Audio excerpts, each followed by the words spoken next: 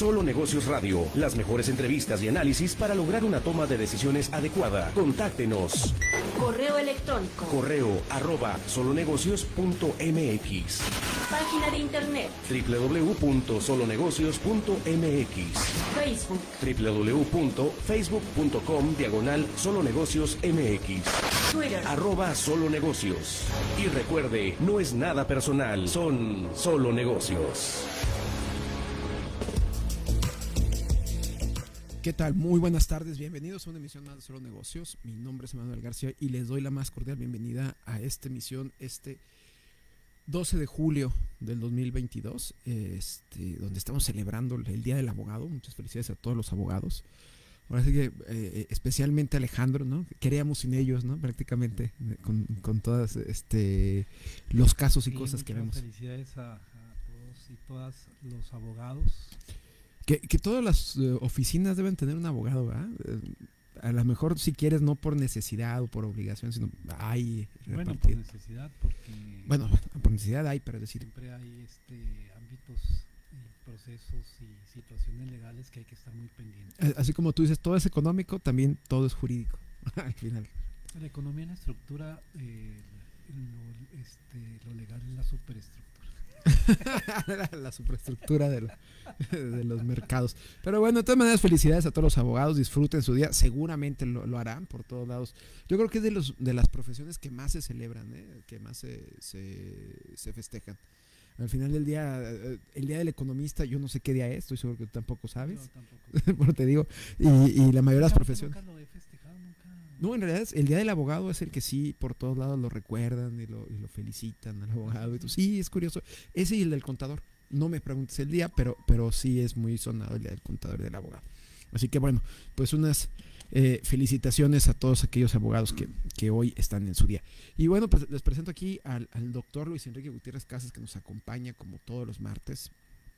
Muy buenas tardes, gracias por, por estar con nosotros. Y, y tenemos hoy algunos temas que, que eh, parecía una semana tranquila. eh, eh, bueno, ya se tenía avisos de que tranquilos no, iba a ser este año. Pero, pero pues no esperábamos a lo mejor situaciones que, que no pudiéramos eh, haber visto ya con anterioridad y ahora ya empiezan a, a ocurrir, ¿no? O sea, es decir, una serie de hechos que, que a lo mejor habrá economistas que lo ven de, de una manera cotidiana, ha- habremos ciudadanos como ese corrientes que decimos, pero ¿qué pasó? ¿No? Y hay temas que nos ha traído obviamente, pues entre ellos obviamente la pandemia y también eh, eh, con ello también la, la inflación y pues muchas cosas que vienen a- apareadas, ¿no? a esta situación.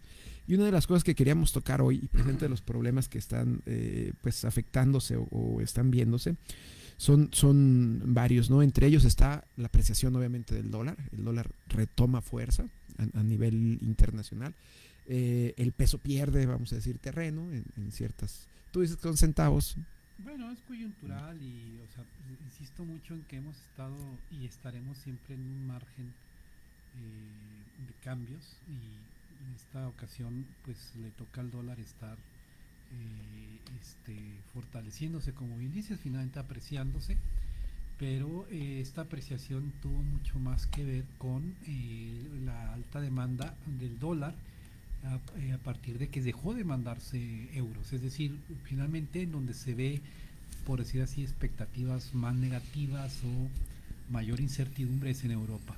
Mm. Y en ese sentido, este, pues quienes están dentro de este gran circuito de inversiones financieras especulativas, pues lo que hacen es sienten incertidumbre y se van por lo que considerarían este, monedas pues relativamente más seguras, ¿no? o fuertes, por así decirlo. claro, cuando a nivel mundial ya, eh, se eleva la demanda de dólares, claro que todas las demás monedas también eh, hay una repercusión, no solo con el euro, que, eh, sino además con, en este caso, con eh, este, el peso mexicano, es decir, también compiten y una mayor demanda de dólares, un incremento en la demanda de dólares, pues hace que para el peso mismo o para los inversionistas, por ejemplo, que tienen pesos y que quieren dólares, pues el dólar sea más caro. Claro. Y entre esas cosas, ahí viene la situación que pensábamos no íbamos a ver.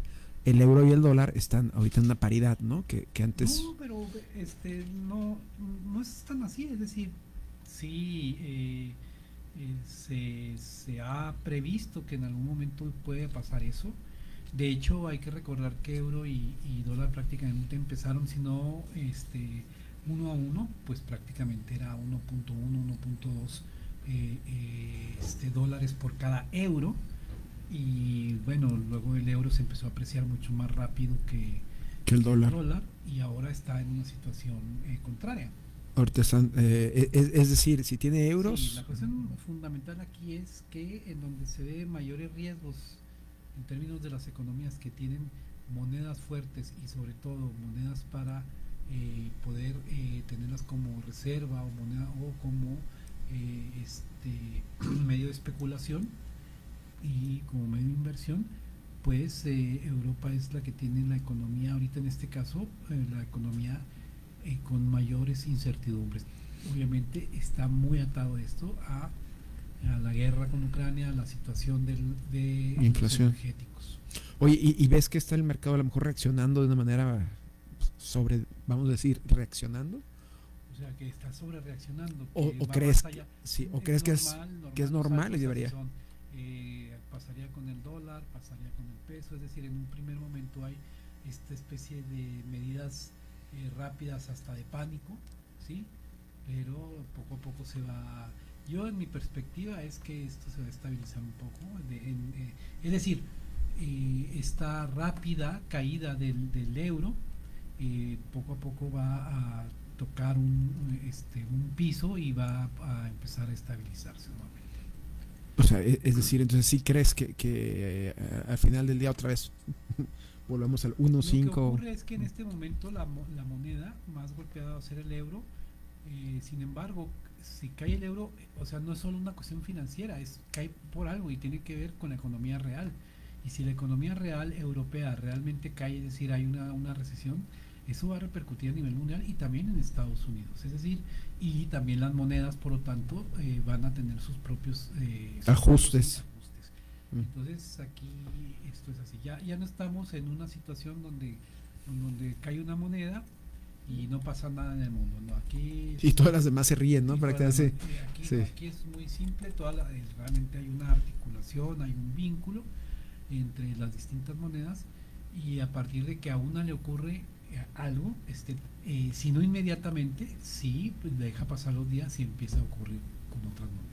Entonces, bueno, hay, que estar pendiente, porque al final del día eh, hay un dicho, ¿no? Cuando se pelean los elefantes, las hormigas, pues nada más ven. No, yo aquí lo que, lo, lo- que veo es, porque finalmente lo que nos puede impactar a nosotros es si el peso eh, mexicano el, eh, va a mantener este vamos eh, esa, un proceso eh, de depreciación pero insisto mucho no lo veo y las bases de ingresos de divisas en, en el país están están sólidas están estables. La reserva internacional está también consolidada. No veo forma de que, de que haya un problema eh, mayúsculo en, este año. Es decir, estamos listos para lo que pudiera ocurrir, digo, ya fuera de lo y que... además ya está demostrado, eh, durante este mismo año hay que recordar que la moneda ha estado, eh, en- es decir, el tipo de cambio peso dólar ha estado en 21, 21.50, ha bajado. No ha movido. Hay un rango, Sí. hay un rango. Se mueve, pero no mucho, ¿no? Eh, eh, Este... Y, y también hay que recordar otra cosa, hay que recordar que una, una cosa es que se que cambie, eh, que el tipo de cambio varíe a nivel eh, este, internacional y otra cosa es lo que pasa en la frontera. Sí, vamos, yo supongo que varios eh, se han dado cuenta de que cuando el tipo de cambio a nivel internacional o el reconocido también por el Banco de México está, por ejemplo, no sé, en 2070, 2080, aquí el, el tipo de cambio está en 2020, 2030 aproximadamente. Porque hay, eh, también hay una demanda, una fuerte demanda, es decir, un mercado local. Claro. Y así, aun cuando el dólar aquí este, en- a nivel internacional y reconocido, insisto, por el Banco de México, está, por ejemplo, no sé, en 19.70 que llegó a estar, ¿no? 19.70, 19.80, el tipo de cambio a, a nivel, este, aquí en la frontera está en 19.90, 20, es decir, no, no baja más. También, eso ya nos da cuenta a nosotros cómo en los mercados locales también también este, impactan en el tipo de cambio, pero aquí en la frontera. Sí, digo, tra- trae vida propia, obviamente no, Obviamente no por alas, encima o por abajo. Por decir así, o hacia Claro. arriba o hacia abajo, pero, Pero- pero, el propio mercado local tiene sus. sus- Sí, sí, sí, lógica, sí tiene su lógica además de todo. Pero, sí. bueno, hasta eso no estamos en, en- en, eh, pues, obviamente saltos tan grandes como vimos años pasados. Así Digo, para la turbulencia que hay, Ah, ahí vamos. Mira, ya aprendiste que no. No, no, no, no. Hay que entender lo que es, Es- el rango. es que no-. No es tanto el rango, es decir, pues cuando no tienes dinero para comprar, pues te da igual, ¿no? o sea, te da igual realmente cómo está el, el- el dólar. Y como diría por ahí esta, ¿cómo se llama? La que, la que es Angélica Rivera, ¿no? O sea, al final, ah, no era Angélica, no, nuestra ex primera dama, no. Este, la de Televisa que decía, bueno, al final como no compramos en dólares no nos afecta, ¿no? Cuánto está. Pero la verdad es que sí, esto es un tema de todos los días, eh, independientemente del lugar donde vivamos, ya sea en frontera, y más en frontera, obviamente el precio del dólar es algo que, que tenemos que estar pendientes, ¿no? Definitivamente. No tengo que casi como el clima, porque el clima no necesitamos ver si va a llover o no, nos damos cuenta inmediatamente. En el dólar sí es un poquito más drástico. Oye, y en cuanto la parte de, las inflaciones, Luis, te iba, te a comentar y te iba a preguntar. Ya hay voces que, que advierte que, la inflación va más allá de un tema de demanda. Eh, entre ellos, pues tú, tú también estabas diciendo de una demanda local, ¿no? No, no, claro, eh, lo que tú me comentas es, sí, creo que he estado este, leyendo algo de esto, pero lo habíamos dicho, que el tema de la inflación, que es, que además tiene un origen externo, también en términos económicos, eh, tiene un origen desde la oferta. Hay un tema de mercados laborales, hay un tema de cadenas de suministro, hay un tema de cambio climático, todo ello este, se junta y, y crea verdaderos cuellos de botella en términos de oferta. Aquí la retórica de los bancos centrales es, eh, es que ante un proceso inflacionario incrementamos las tasas de interés. ¿Por qué? Para eh, reprimir, ¿sí? para constreñir la demanda. Pero como si, eh, la, vamos a decir, como si en este caso, porque esa idea de que las tasas de interés tienden a limitar, eh, a es- desestimular, a constreñir el gasto, es decir, la demanda, viene de una etapa en donde era eh, normal que las economías se estimularan con mayor gasto y estos empezaban a propiciar o a provocar problemas, sobre todo problemas de precios, pero derivados de la demanda.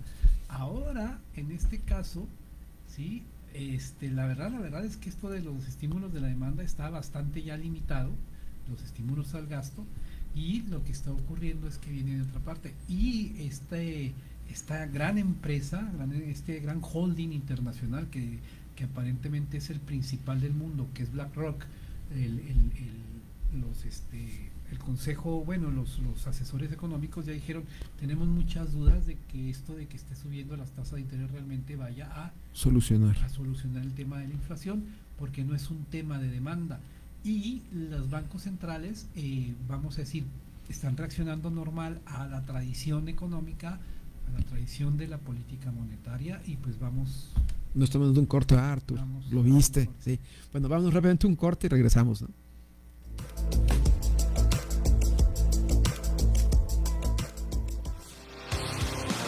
Regresamos, no se vaya. Continúe en Radio Mexicana 1300 AM con Solo Negocios Radio. Son las 4 con 14 minutos. 50 años de emociones desbordadas. 50 años haciendo historia. Eso y más es el Festival Internacional Cervantino. Te invitamos a disfrutar de esta fiesta cultural y artística del 12 al 30 de octubre en la ciudad de Guanajuato. Corea y Ciudad de México son nuestros invitados de honor. ¡Acompáñanos! Consulta la programación en nuestro sitio web y redes sociales. Secretaría de Cultura. Gobierno de México. El Poder Judicial de la Federación Mexicano se convirtió en solo tres años en un referente internacional en igualdad de género. Obtuvimos el Premio Interamericano a las Buenas Prácticas para el Liderazgo de las Mujeres, otorgado por la Organización de los Estados Americanos. Hoy tenemos más mujeres en más y mejores cargos, una cultura institucional diferente y justicia con perspectiva de género. Género, el poder de la igualdad. Suprema Corte, el poder de la justicia. El Senado de la República convoca al Premio al Mérito Literario Rosario Castellanos. Las propuestas deben hacerlas instituciones y organizaciones reconocidas en el ámbito de las letras. Hasta el 31 de julio de 2022. Pueden postular a escritoras y escritores destacados con obra escrita en español o en alguna lengua originaria de América Latina. Consulta las bases de la convocatoria en www.senado.gov.mx. Senado de la República. Sexagésima quinta legislatura. En Criticon de México estamos solicitando operadores de producción en producto médico para primero y segundo turno. Ofrecemos salario libre por semana de 1.745 pesos más vales de despensa por 135 y ahorro desde la primera semana de 372. Además, 24 días de aguinaldo, crecimiento salarial y laboral, becas de estudio, gimnasio, cafetería, transporte, eventos deportivos y nutrióloga. Te esperamos de lunes a miércoles de 6 a 10 de la mañana en Valle del Cedro 1551, Parque Industrial Intermex, atrás de Esmar y Walmar Las Torres. Búscanos en Facebook como Contratación Criticon. Te esperamos. Radio Mexicana, nuestras noticias 1300 AM, ahora es la radio oficial de los indios de Juárez de Baseball. Y te invita a que sigas las acciones de la temporada 2022 con la crónica de Alfonso Lanzagorta y un gran equipo. En el 2022 los indios de Juárez están en la radio oficial, Radio Mexicana, nuestras noticias 1300 AM y va por Juárez.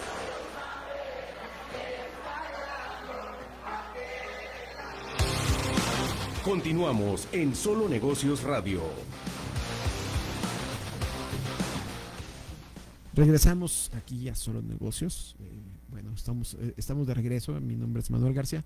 Yo estaba platicando con Luis Enrique. Antes de irnos a corte, hablamos de un tema que escúchelo bien porque puede ser el tema de aquí al fin de año, ¿no?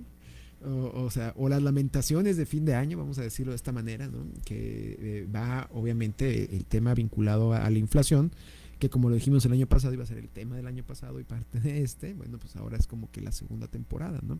De esto. Y nos decía, Luis.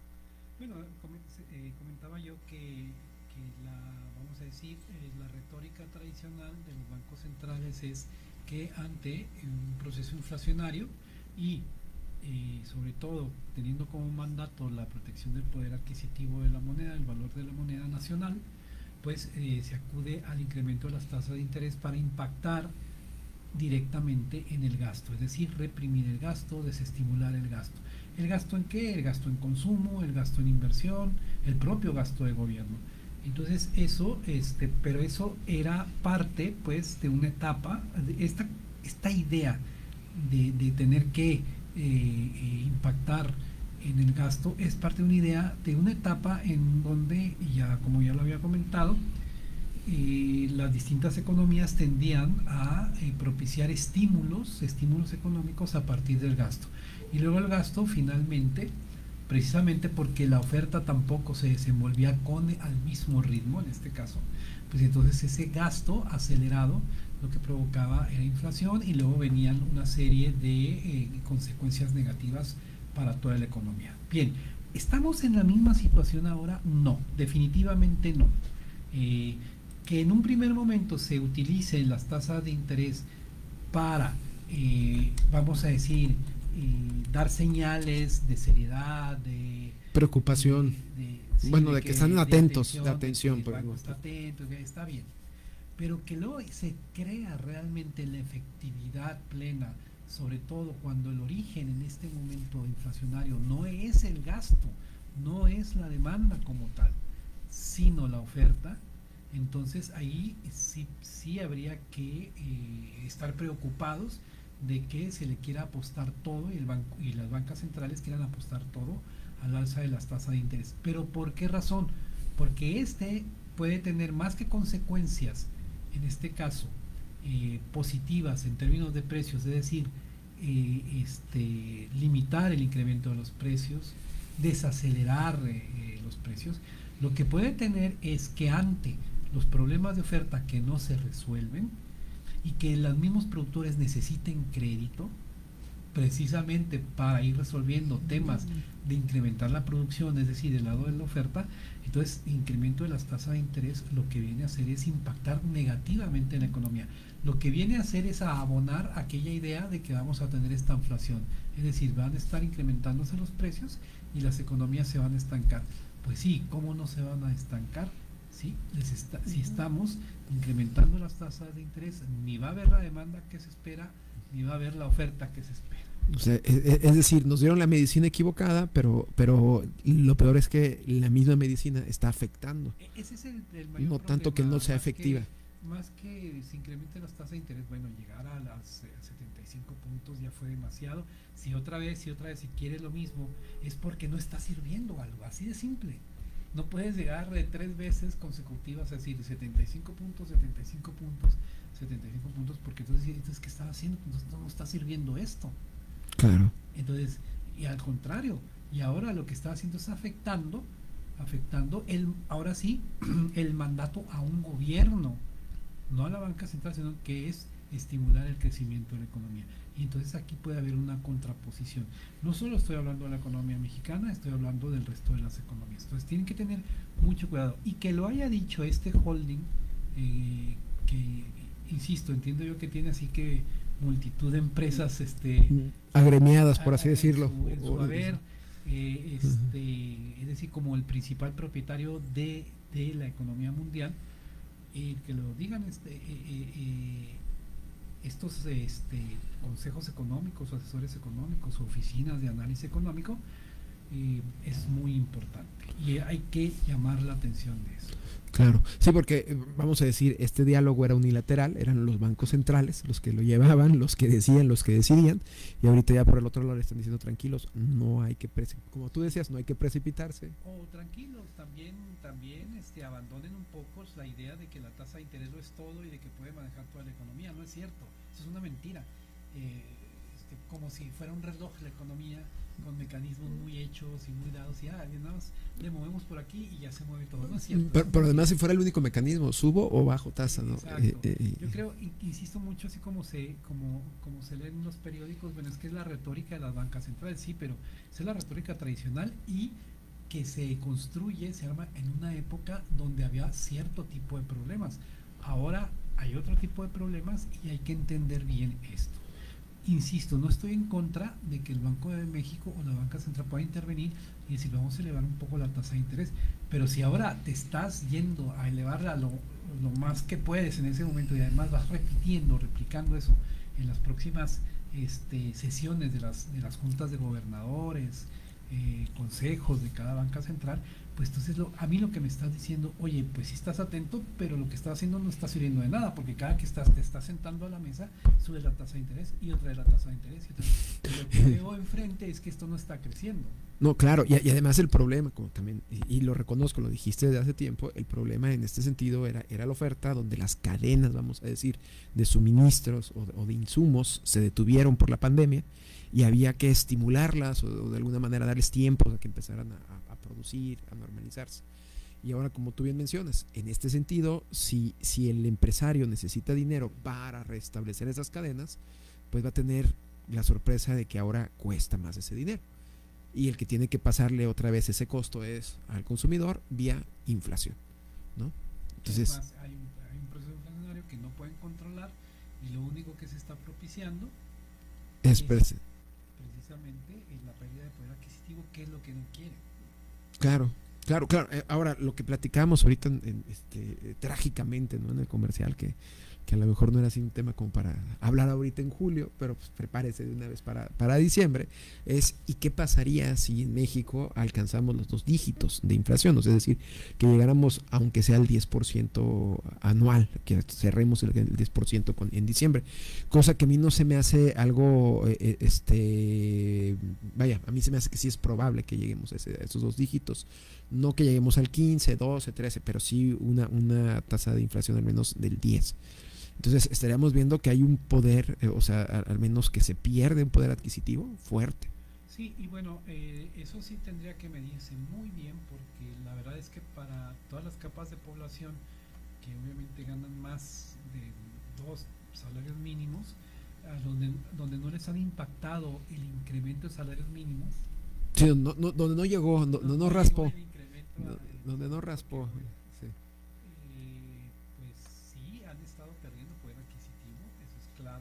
¿3% les habrán subido? Por ejemplo, el año pasado, este año pasado, este, eh, que la inflación estuvo alrededor del 7%, vamos, poco menos, pero alrededor del 7%, eh, los contratos colectivos de trabajo, pues en lo general, no, sí, el, el salario mínimo sí se incrementó, no sé cuánto, como... Eh, eh sí, para el, el, más, el estrato más bajo. Que veintitantos, que por ciento, lo que sea, pero para quienes ganaban más y donde no ha llegado, no ha rozado esos incrementos, ahora eh, los, contratos de trabajo este, estaban en los rangos del 3 al 5%. O sea, de, entrada, de entrada una pérdida de poder adquisitivo para estas caras. Y ahora vamos a ver cuál podría ser la política eh, porque entonces eh, sí, sí hay claramente, sí habrá claramente una pérdida de poder adquisitivo de grandes capas de la población. Eh, no, sí, parejos, o como tú dices, ahora sí nos tocó parejos y, y alrededor, si termináramos en 10 y realmente le estuvieron el 3%, estaríamos perdiendo un 7%. La pregunta que en este caso sí haríamos a un gobierno es, bueno, la, tradicionalmente lo que se hacía era que este, el salario, los salarios se incrementaban en función de la expectativa inflacionaria o, trata, o se supondría que trataban de alcanzar las tasas de inflación. No fue así y por ello, por, por ello durante tanto tiempo, eh, no sé si viste el, el, la nota esta sobre el billete de mil pesos que en 2012 valía mil pesos claro. y en ahora en 2022 vale un 42% menos. Ese billete puedes comprar, no, pero puedes comprar solo un 42% de lo que podías comprar en aquel entonces. entonces. Entonces nos está pasando eso y la pregunta que podríamos hacer, bueno, ¿cuál va a ser? Es decir, ¿realmente vas a rescatar el poder adquisitivo o vas a mantener tu lógica de, subir las tasas? Ah, claro. Ah, bueno, sí. Sí, o sea, ¿cuál, ¿cuál, va a ser la idea aquí? Porque te tienes que sentar con, obviamente, con empresas, eh, con un sector, o sea, de representación laboral y decir qué vamos a hacer, porque la verdad es que el poder adquisitivo está disminuyendo. Sí, no puedes hacerlo como en Venezuela, ¿no? le subes el sueldo a todos, ¿no? Nada más vía, vía eh, este decreto. Ahora, lo curioso, y, y, no me dejarás mentir en eso, este, los billetes de mil pesos que antes nadie conocía, hoy ya son más comunes. o sea, pues, ya lo, y yo no sé si he tenido solo una vez uno, un, un solo una pieza, como se le dice técnicamente en tus manos en toda mi vida. Bueno, es que eh, también nosotros por la, nuestra profesión pues no nos permite mucho que te paguen en, de mil. Ah, bueno, está bien. No, pero, pero la, la, realidad es que sí, eh, recuerdas, al menos hace 10 años, 15 años, un billete de 500 duraba. Uno de mil, dices, no, esos ni los conocías, ¿no? Hoy en día ya te ha caído más, con, con mayor frecuencia, es el símbolo de inflación. Fíjate, ya con uno de mil y te regresan ya, ya 300 a lo mejor, ¿no? No quieras ni tocarlo porque se, se, pierde, bueno, pues con que llenas el tanque, ahí nos vemos. Entonces, son, son de las situaciones que, que se está viendo, no solamente son locales, obviamente es a nivel internacional este asunto, o sea... Sí, sí, eh, tratar de, vamos a decir, de decir es que la economía mexicana le está yendo mal por esto, por esto otro, que acá y no hay quien, es que el gobierno, que no sé qué. A ver, tranquilos todos, porque esto sí es un problema mundial. Y francamente, y ahora lo que le pasó a, la, a las economías europeas con el euro es un signo de eso. ¿sí? De el primer la economía mexicana le está yendo, a, entre comillas, vamos a, o relativizando, le está yendo... O, o ponerlo hasta ahorita. hasta ahora, sí. Hasta ahora, menos mal. Menos peor. menos mal. No, la realidad es que, es que fíjate, tenemos todos el mismo problema y aparte nos están dando la misma medicina a todos. Pues, es lógico. Hoy nos está mandando un corte Arturo, ¿no? Vamos y regresamos rápidamente.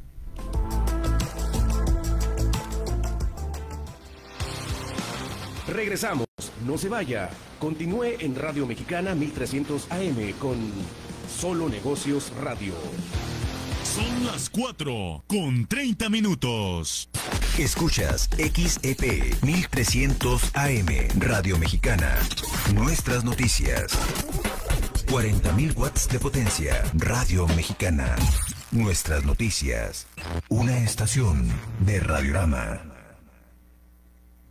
La riqueza es una enfermedad muy peligrosa, causante de fiebres, picazón e incluso puede provocar la muerte. Limpia tu casa, tu patio, saca escombros y tiliches para evitar la propagación de la garrapata. Si ya tienes problemas con garrapatas, llámanos para sacar una cita de fumigación al 737-0000 en las extensiones 70502, 70510, 70511 y 70512 o al WhatsApp al 656-570-8120. Un equipo especializado acudirá a atender tu denuncia. Gobierno Municipal, Refugio de la Libertad, Custodio de la República.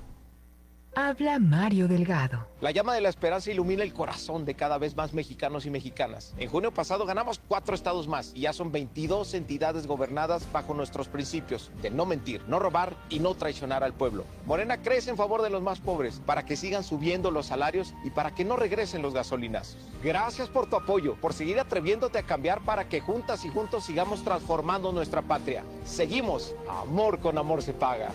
Morena, la esperanza de México. Hoy, Chihuahua es aún más grande y para el gobierno de las buenas decisiones, la salud es lo más importante. Por eso recuperamos el programa de cobertura universal de salud para que cada rincón del estado cuente con atención médica moderna y eficaz. Juntos, con un Chihuahua más sano, hacemos al estado grande, aún más grande. Juntos sí podemos. Gobierno de Chihuahua.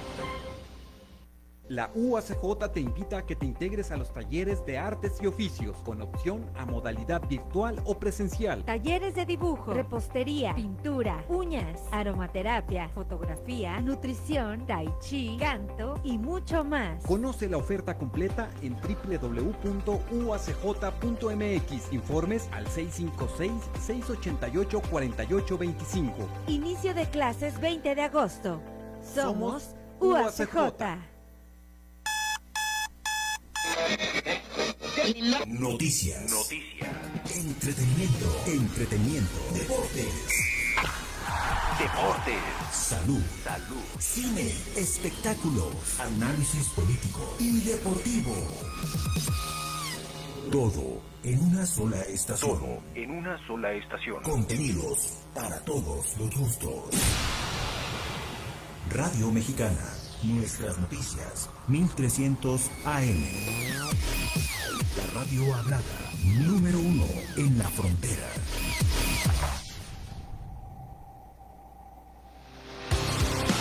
Continuamos en Solo Negocios Radio.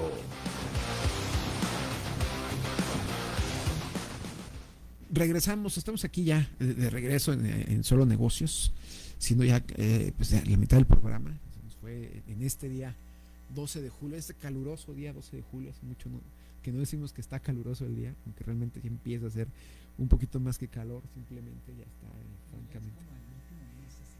¿Crees? A mí se me que agosto todavía. Bueno, tiene algo. Nos, te da, oye. ¿Crees que sí el, el, el, el, pico? Dios te oiga, porque ahora que llegue el recibo de CFE, vas a ver. Este es el más alto. Así, agárrense de una vez. Si, si, tenía dudas, este es el más alto. Este, este recibo de CFE es el bueno. Este, este, se justifica toda la infraestructura de CFE, ahí sí sacan todo el dinero. Y hablando, y hablando de CFE, hay, hay una noticia ¿no? de, de, de, de CFE. Eh, que rebaja la calificación Moody's. Bueno, yo sé que Luis no es, no es, muy fanático de las calificadoras, ¿no? Particularmente Moody's es como que te pone el, no, no, pero los pelos de punta. Sus, sus propios, ningún, ni, ningún indicador de estos puede decirte tanto de, de una empresa, pero pero sí, no solo de la CFE, sino de Pemex hubo calificaciones, ¿no? También. Y no fueron, eh, vamos a decir, eh, del todo positivas. Eh, tampoco fueron tan dañinas, pues, pero... No, no, no, no te bajaron así tipo Venezuela. No fueron del todo positivas. Sin embargo, el, lo principal que le preguntaríamos a una agencia como Moody's es, este, oye, pero ¿cuándo te han fallado en pagar algo?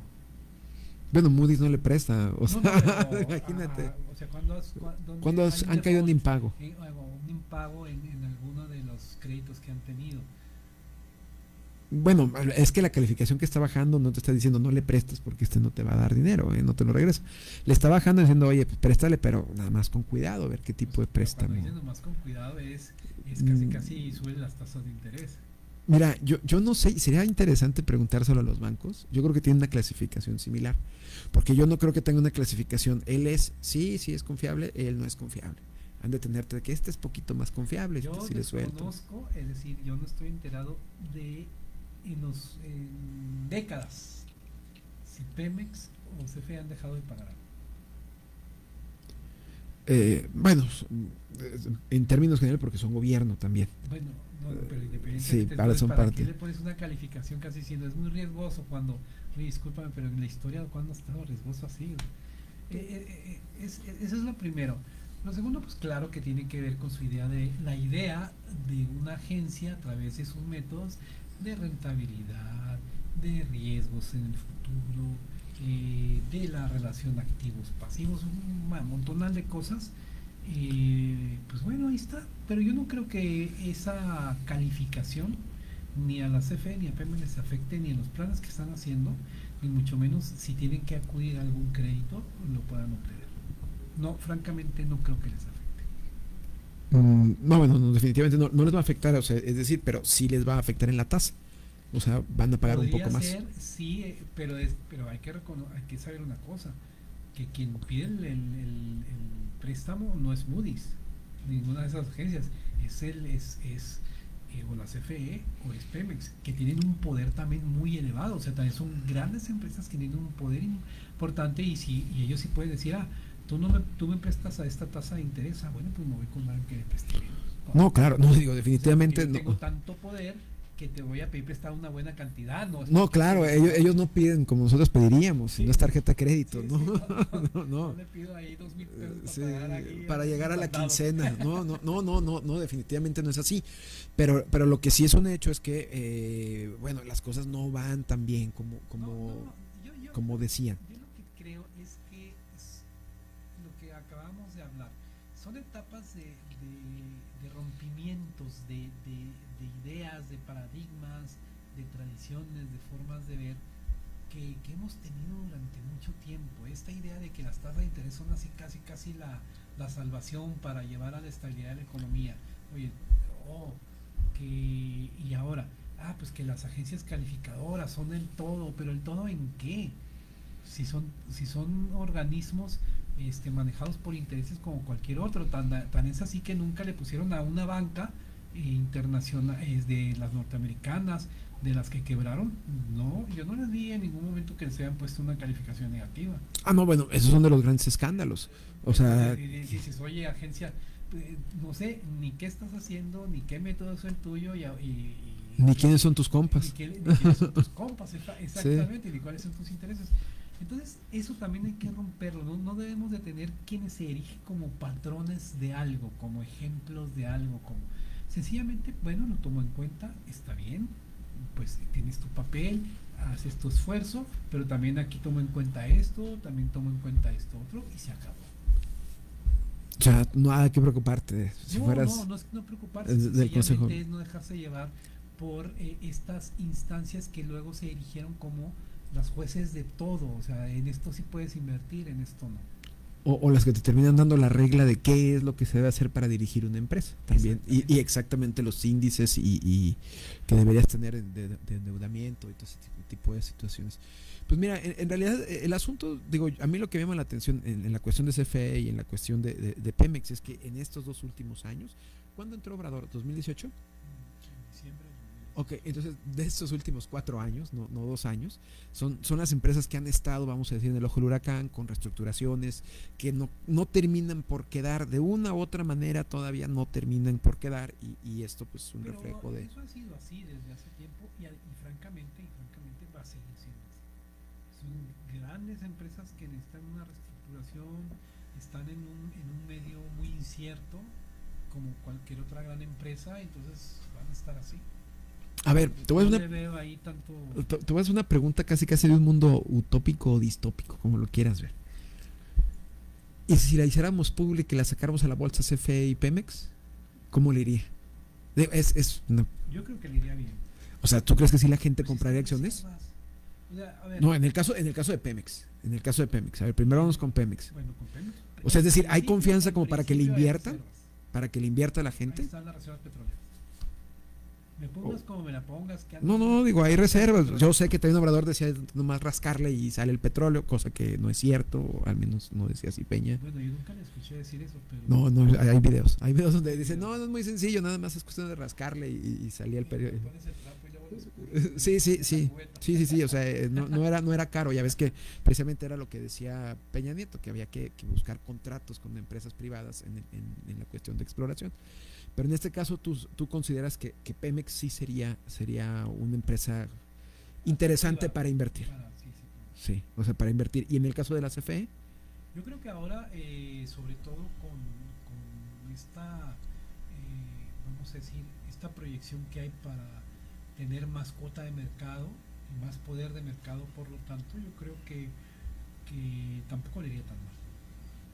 O sea, ¿tú sí crees que sería...? es decir, hay que, hay que recordar que durante un tiempo vimos una empresa que se estaba achicando, ahora vemos una empresa con proyección otra vez a recuperar terreno. Claro, pero, eh, eh, terreno es decir mercado. Y además con el respaldo totalmente de la inversión del gobierno, pues ahí está. Ahí el tema es, eh, por ejemplo, que hay ciertos pasivos que es difícil que si se meten a la, a la en este caso, a la, a la negociación dentro de una bolsa, entre comillas por ejemplo, eh, los pasivos que pueden tener Pemex y CFE de, de, las pensiones, ¿no? ¿Quién los asume? Pues los asume el gobierno federal, no los asume la empresa como tal. Sí, vaya, son de los de los vicios, de los vicios, ¿no? Vamos a decir, de, otros... Eh, si tú ves, dices, ay, esos pasivos, no, esos pasivos los sigue asumiendo el gobierno federal. Ah, pues fácil. Pues, o sea, ahí, ahí sí. Claro que sí. o sea, en el caso de. No, pero imaginemos que, que, en el caso de Telmex, como cuando ocurrió Telmex, que se la dieron y asumió con todo lo que traía ahora sí el paquete, ¿valdría la pena CFE? Ahí con que tuviéramos, aunque pagar el. el... lo que pasa es que de todos modos están asumiendo un papel de casi monopolio. O sea, van, mm. van a asumir un papel de, de, por lo menos de un oligopolio, en donde esta será una empresa principal. Claro, no, la, la, la principal ese sentido no, no le veo. No, no, le pierdes. No creo que se le pierda. No, no le pierdes. Híjole, ¿cómo no te pierdes Slim, verdad? igualito yo creo que pensó Slim en, Telmex en términos generales. No, está quebrada como empresa estatal, pero véngase para acá. ¿No? No es tan fea. sobre todo cuando una etapa este, está garantizando el monopolio, ¿no? Claro, no, además, ¿no? Además de que sin monopolio, pues de aquí hasta que tengas tu estructura. Imagínate, todavía Telmex, en el caso de Telmex no, no, no se ha podido desarrollar. Y entonces, esas cuestiones tenemos. Aquí nos está mandando otra vez Artur a corte. Vamos rápidamente a corte, al último corte, y regresamos.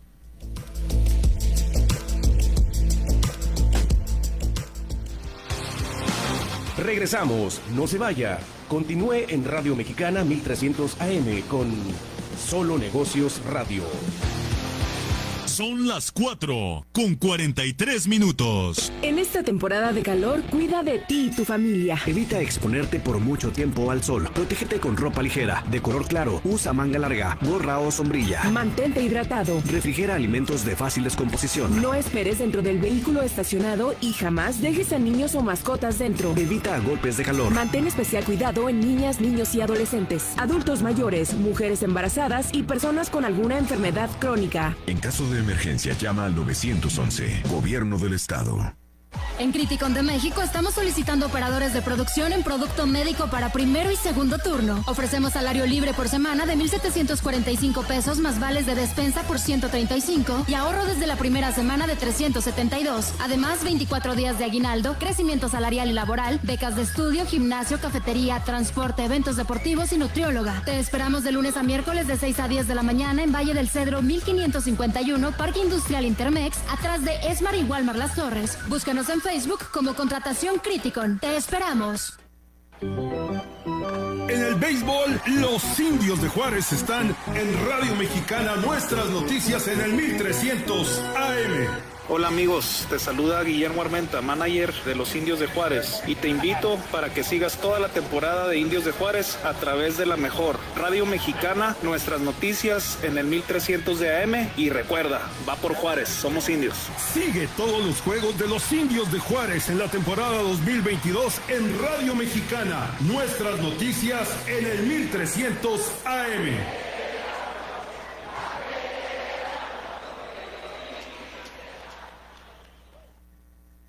Les habla Jazmín Ibarra Trejo, reportera y conductora de noticias. Para mí la noticia son todos los hechos relevantes que impactan la vida cotidiana de las personas.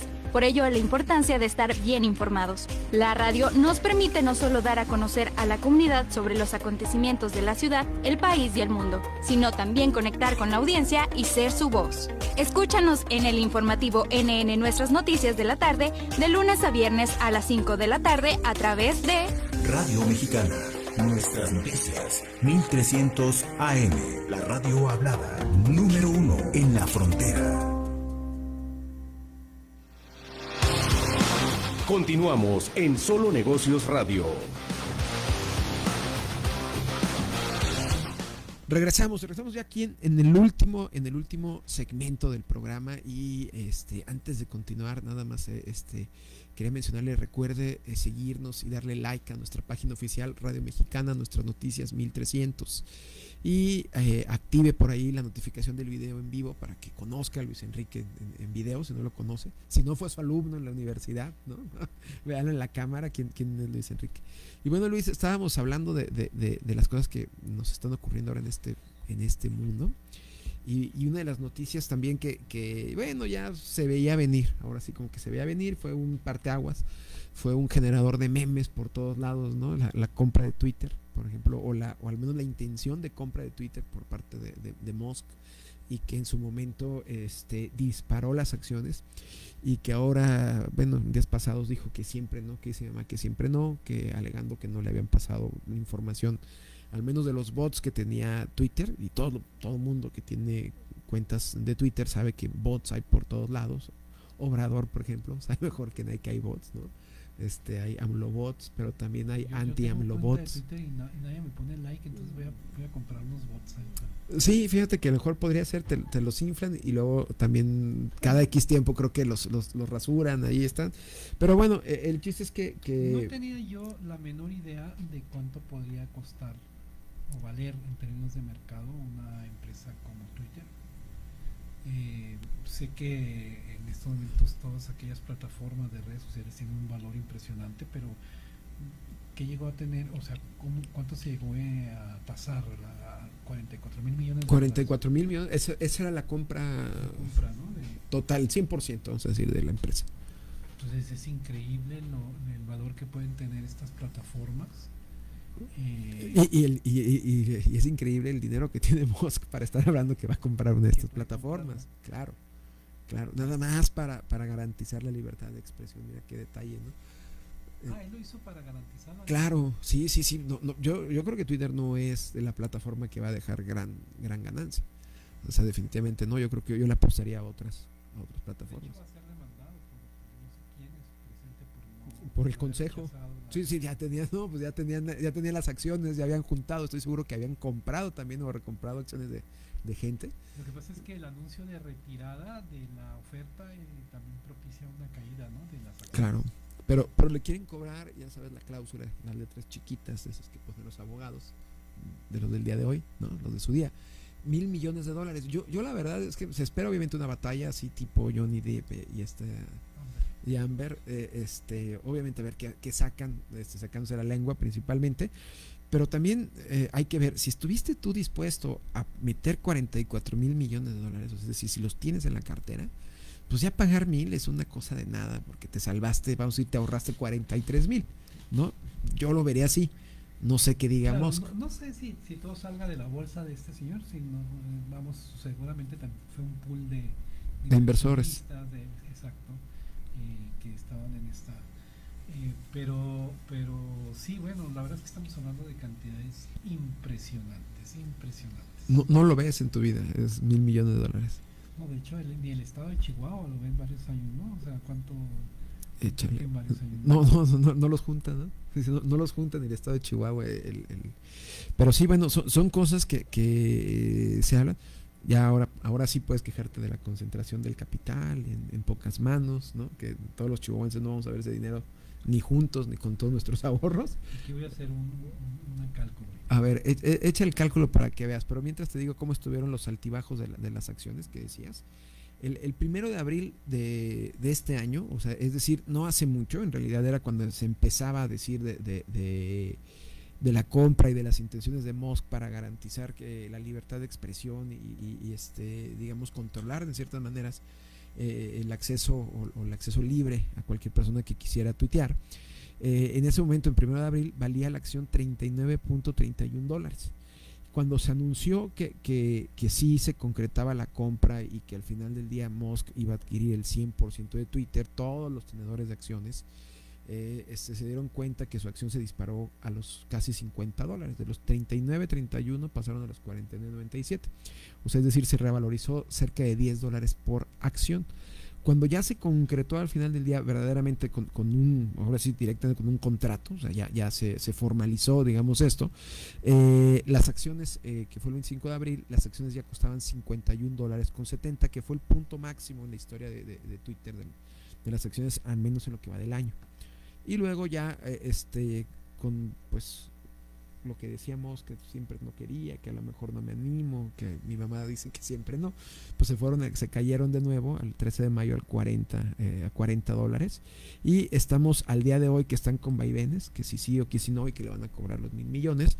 Hoy en día, o bueno, al menos al 8 de julio, y estamos a 12, al 8 de julio quedó en 36.81, es decir, perdió eh, 6% del valor de las acciones. ¿Cuánto ahora sí? ¿Qué te dieron tus cuentas? No, no, las cuentas es que eh, el valor de lo que, tiene en estos momentos la plataforma de Twitter es poco menos de lo que produce el estado de Chihuahua. Poco menos. Al, año. Ah, sí, nada más. En la concentración de, de, de capital, ¿para qué? Y, que estamos hablando de compras, pues prácticamente, eh, en el caso de Musk, entre particulares. Twitter todavía no es de particulares, pero sí hubiera sido de, una persona.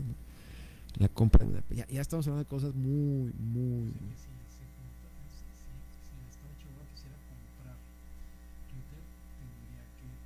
Sumar todo lo que producimos en un año. Y, y tendríamos Twitter. Nada más para que se den una idea. Digo, nada más de, la concentración, ¿no? Ahora sí lo que se llama desigualdad. Ahora sí podemos verlo. Pero es normal este, ver como las empresas multinacionales y, ahora estas plataformas, pues. De hecho, hay que recordar que varias compañías este, aglutinan el Producto Interno Bruto de países, por ejemplo, sumados latino, eh, centroamericanos, por ejemplo. ¿no? Claro. El, valor de una compañía vale prácticamente lo que producen varios países. ¿no? Sí, fíjate que eso me acuerdo mucho en mis clases de primaria que, decía que había, así no lo decía nada más, que había países que, que pues no podían subir a lo mejor un satélite cuando empresas norteamericanas, pues la propia, nada más la empresa ya estaba lanzando un satélite para, para expandir sus transmisiones, y había países enteros que no podían eh, este hacerlo. Y no estamos hablando de África, ni tampoco estamos hablando de, Haití, ni nada. Estamos hablando de, en Centroamérica, países un poquito más pequeños que, que, lo que tienen. Pero bueno, este, nos estamos acercando prácticamente al programa, al final del programa todavía no, Luis. No sé si quieras mandarle algún saludo a uno de tus múltiples este, fans. Yo, creo que, valdría la pena luego ver si la próxima semana hablamos de, cuánto produce el estado de Chihuahua, cuánto ha estado creciendo, ¿sí? Eh, qué es lo que fundamentalmente está produciendo y, en el plano nacional cuánto cuánto aporta ¿no? al Producto Interno Bruto.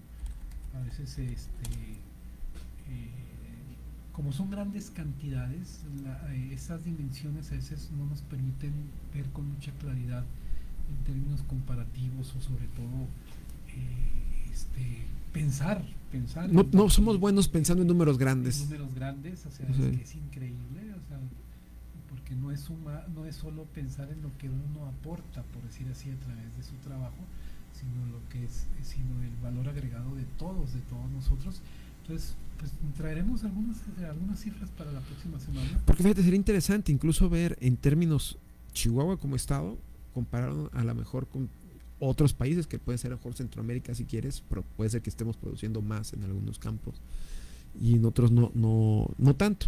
¿no? Pues, la próxima semana lo hacemos. Este, para traer eh, esa información y tener claro cuánto produce el estado de Chihuahua, cuánto aporta al PIB eh, mexicano y de acuerdo al tamaño, cuál es el tamaño de la economía de Chihuahua con respecto a los distintos estados, entidades federativas del país, pero también a algunos países. algunos países que tendríamos obviamente ventajas sobre algunos países eh, chicos, ¿no? O sea, y también le incluiremos ahí el, famoso indicador de ingreso per cápita, ¿no? Que, que, tanto les gusta a los economistas y que tanto les dicen que no lo usen, que no es correcto, que no es. es, correcto usarlo. Es lo menos peor.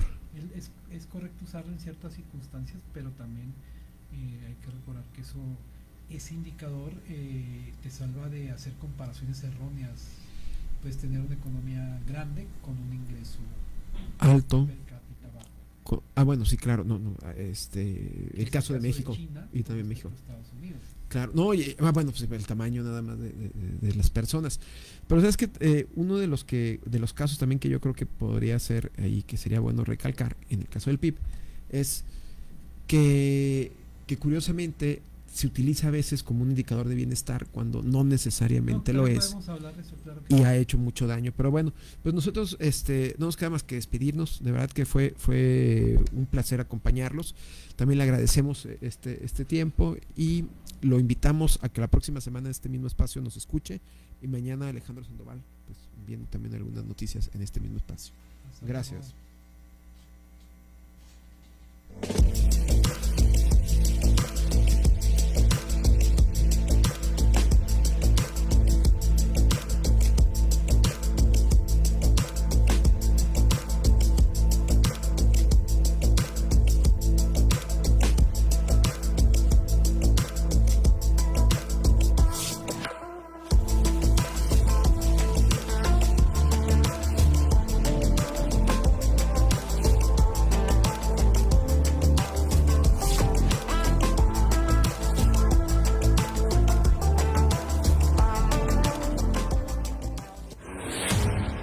Agradecemos su atención. Nos escuchamos de lunes a viernes de 4 a 5 pm a través de Radio Mexicana 1300 AM. Contáctenos. Correo electrónico. Correo arroba solonegocios.mx. Página de internet. www.solonegocios.mx. Facebook. www.facebook.com diagonal solonegocios.mx. Twitter. Arroba solonegocios. Y recuerde, no es nada personal, son solo negocios. Radio Mexicana, nuestras noticias, presentó. Reflexión